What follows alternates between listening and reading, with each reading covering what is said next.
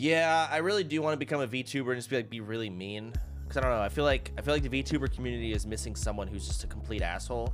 Uh, they have like, uh, yeah, yeah, no, no, like what fucking whatever the fuck they say, right? Like, yeah, all cutesy and shit. Um, on each, you know, you know what I'm saying? Like Chan Chan, sh- fuck fuck. Um, you know what I'm saying? So they need someone that's not like that. Uh, it's me.